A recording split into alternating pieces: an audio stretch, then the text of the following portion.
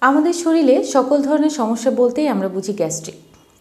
পেটে ব্যথা গ্যাস্ট্রিক, বুকে ব্যথা গ্যাস্ট্রিক, মাথা ব্যথা গ্যাস্ট্রিক, পায়ে ব্যথা গ্যাস্ট্রিক মানে শরীরের সকল সমস্যা মানেই হচ্ছে গ্যাস্ট্রিক।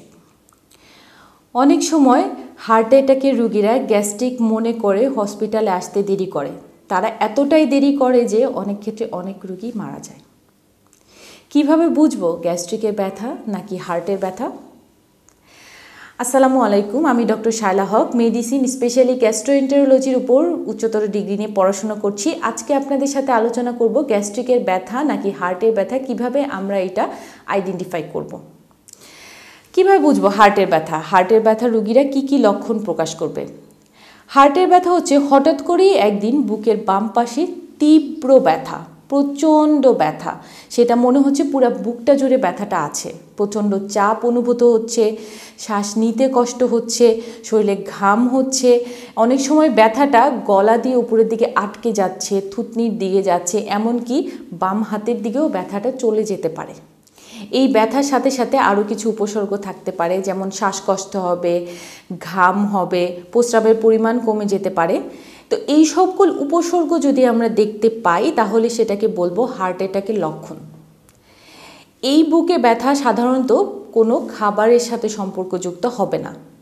গ্যাস্ট্রিকের সমস্যা কিন্তু পেটে খাবার খাওয়ার আগে পরে হতে পারে, কিন্তু হার্ট অ্যাটাকের ব্যথাটা বা বুকে ব্যথা যেটা হয়, সেটা সাধারণত খাবারের সাথে সম্পর্কিত না।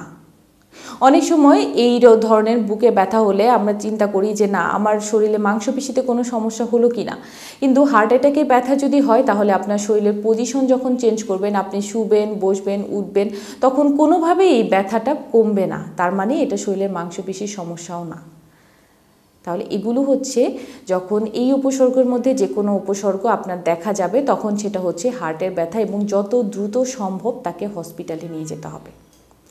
কাদের হতে পারে এরকম হার্ট অ্যাটাকের সমস্যা, হৃদরোগের রক্তনালীতে ব্লকের সমস্যা, যাদের প্রেশারের সমস্যা আছে ডায়াবেটিসের সমস্যা আছে, যাদের শরীরে অতিরিক্ত ওজন আসছে, যাদের শরীরে কোলেস্টেরলের মাত্রা অনেক বেশি, যাদের ফ্যামিলিগতভাবে হার্টের অসুখ আছে।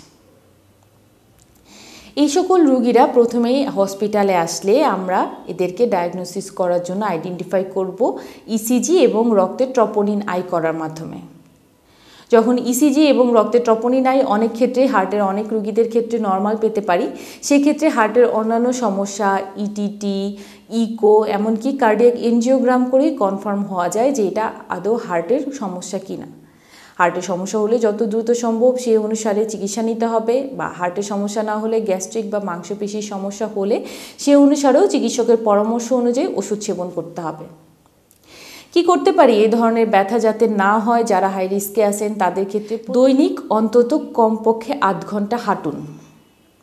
কিছুটা হলেও হালকা ব্যায়াম করুন। মানসিকভাবে একটু রিল্যাক্স থাকার চেষ্টা করুন। অতিরিক্ত চর্বি জাতীয় খাবারগুলো অ্যাভয়েড করুন। শরীরে বাড়তি ওজন থাকলে সেটা কমিয়ে ফেলুন। যদি আপনার শরীরে কোলেস্টেরলের লেভেল বেশি থাকে, তাহলে সেটা কন্ট্রোলে রাখার চেষ্টা করুন। প্রেশার ডায়াবেটিস নিয়ন্ত্রণে রাখার চেষ্টা করুন। হার্টের ব্যথা, গ্যাস্ট্রিকের ব্যথা, যে ধরনেরই বুকে ব্যথা হোক না কেন, যত দ্রুত সম্ভব হসপিটালে চলে যান, চিকিৎসকের পরামর্শ অনুযায়ী ওষুধ সেবন করুন। কারণ কোনো কিছুই অবহেলা না। অবহেলার কারণে সেটা আপনার জীবনের জন্য বড় ধরনের ঝুঁকি নিয়ে আসতে পারে। আজ এ পর্যন্তই। ভালো থাকবেন, সুস্থ থাকবেন। আসসালামু আলাইকুম।